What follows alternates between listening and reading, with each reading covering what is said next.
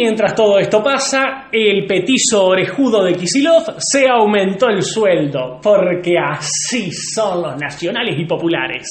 Esta información es de los colegas y amigos de Realpolitik.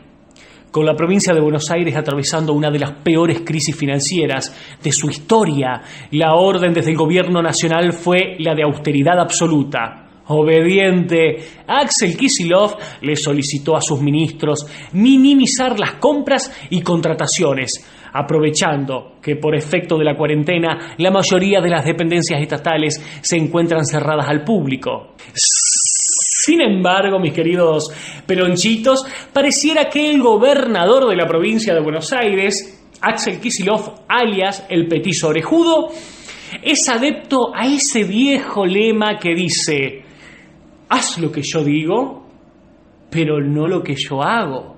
Su salario asciende ya a 433.196 pesos mensuales. lo que cobra todo jubilado en la República Argentina.